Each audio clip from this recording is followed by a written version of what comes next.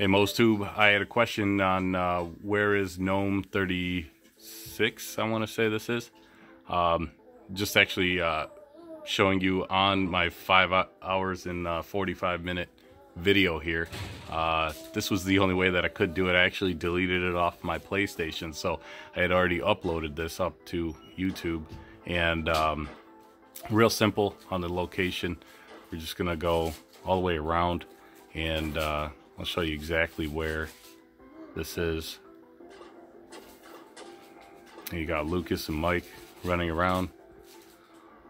Oh.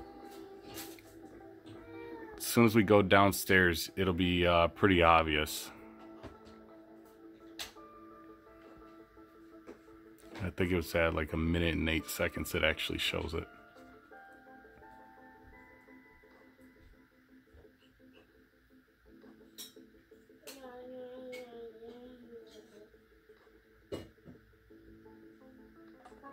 This can also be obtained uh, at any point through the game if you had missed it, whether it's the mall showdown or um, just simply traveling, fast traveling to the mall. So uh, once again, once we go downstairs, you'll be able to see it.